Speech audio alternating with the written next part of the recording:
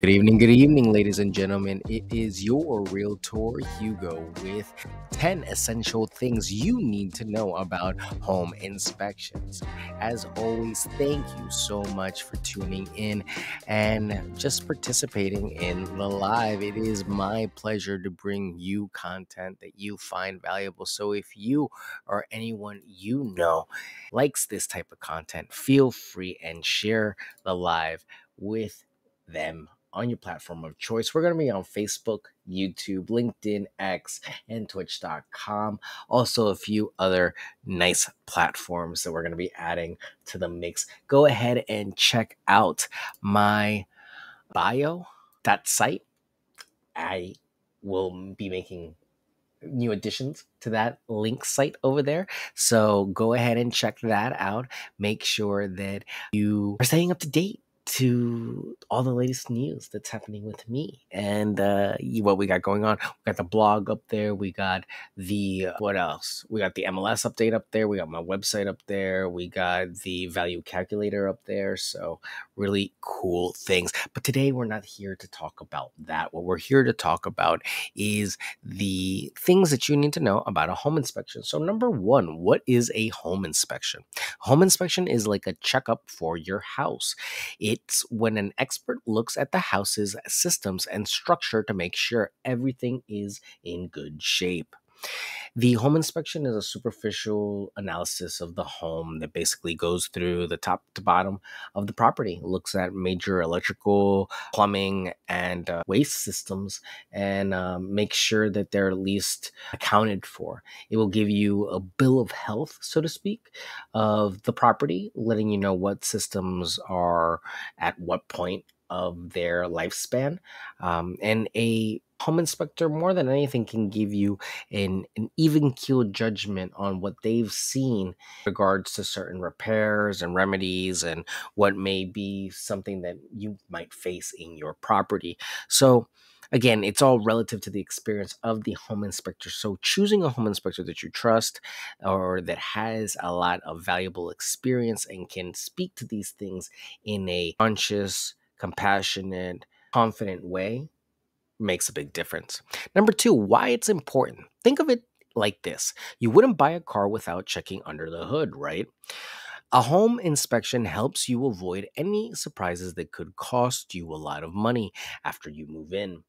And that's what we're trying to avoid you. We're trying to avoid you those high ticket items that might come back and bite you in the behind. We want to make it as clear and transparent as possible to the state of the property so that if you do buy the property and do decide to keep going with the contract, you're fully aware of what you're purchasing. Number three, who performs the home inspection? A professional home inspector does the inspection. They have tools and knowledge to find things that most of us wouldn't even think to check. And that's truly where the difference lies.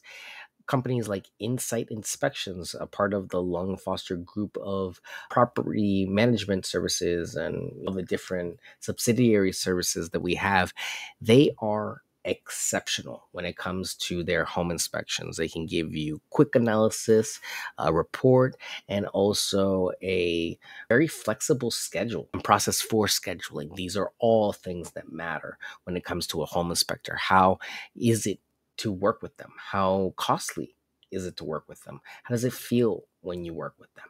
These are all things to stay on top of. Uh, number four, what inspectors look at from the roof, heating and cooling systems, electrical panels, plumbing, insulation, and much more. They're like detectives for the house. And they truly are. I've had the pleasure of speaking with many home inspectors, and they're all very thorough very detail oriented and very diligent in what they do. Uh, I've had the pleasure of working with great home inspectors, and uh, they really made the job fun because a good home inspector should be able to explain everything to you and let you know those questions that you might have as a buyer. They shouldn't make you feel rushed or shouldn't make you feel like you're asking silly questions. This is your time, you're paying for it. So you should take advantage of it. Number five, how long does it take?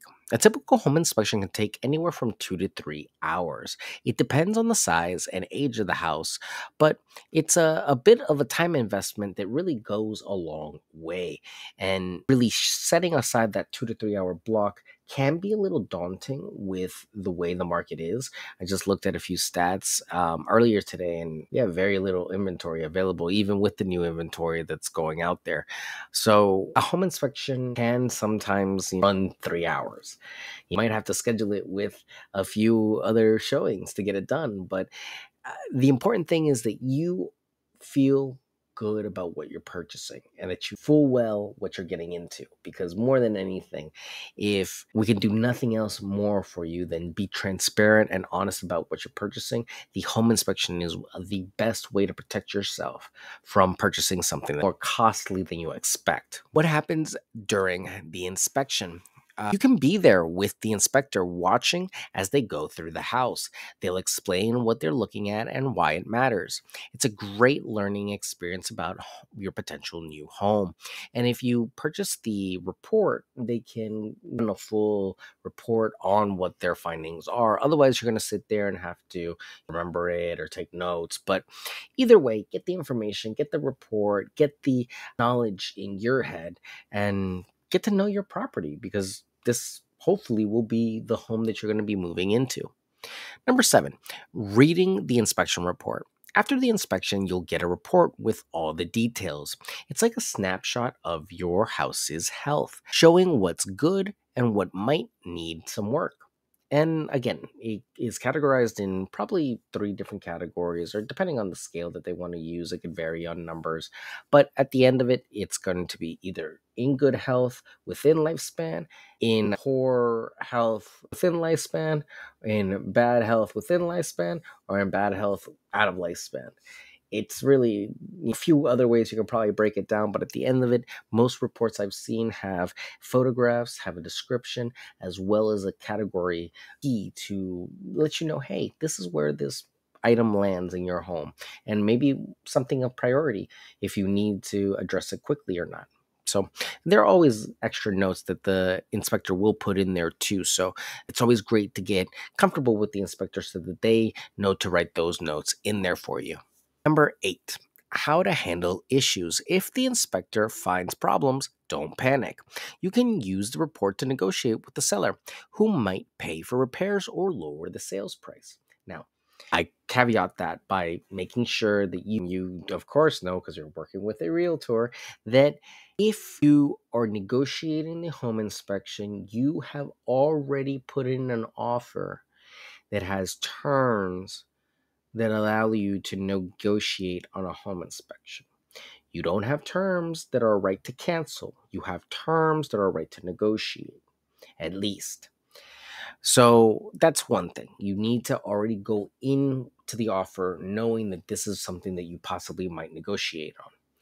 So that's more than anything a big mistake that some people make when they talk to me is that they'll say oh i made an offer this way but it's not really what they're saying. It's what they're doing is something different than what they're saying. But at the end of it what you need to know is that the negotiation process there might be a hundred things wrong with the property but the negotiation process is to address the top things and really try to negotiate with the seller on those because those might be the most important things that we can get anything on. It, there's no point in arguing light bulbs. We have to argue bigger ticket items. But again, that could all be daunting depending on the situation and the seller. So at the end of the day, the report is there for the buyer's benefit, not the seller's. That's why we instruct the buyer to select what company to work with, what company to schedule, and we really just give options for them to look through. Number, and speaking of options, pricing is a big option. Number nine, cost of home inspections. The cost varies, usually ranging from 300 to 500.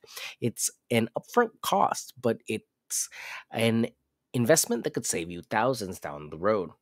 And really, $500, I, I get it. People have commented to me, hey, I'm going to be losing $500. You could be losing $300,000. $500,000, a million dollars. At a certain point, you're being uh, penny wise and dollar foolish. Peace of mind matters more sometimes than $500, especially when it comes to such a big ticket item that you might not be 100% sure on. 10, the last one for tonight. Final advice always choose a certified and well reviewed inspector. It's all about having peace of mind that you're making a smart and safe investment. So, again, taking the time to learn from the best and get yourself involved with the best, with the home inspectors and a team of people that can help you, like a realtor, and just knowing that this is something that's in your pocket that you can use to protect yourself, to not be scared of what's to come or you not knowing anything about a foreign property. You can have a clean bill of health for this property immediately, first time out. So it's a great way to make sure that you are being knowledgeable in your purchase and taking initiative to protect yourself. It's really what it comes down to. If you're just joining us tonight, we were talking about 10 essential things you need to know about home inspections. The home inspection is one of the easiest ways to protect yourself. If you can negotiate a home inspection, do it. Keep it and try to hold on to it and value it. Get it done as soon as possible and get the report or don't get the report, but either way, get the information. Because in this day and age, with properties moving as fast as they are, you have to be as safe as you can be.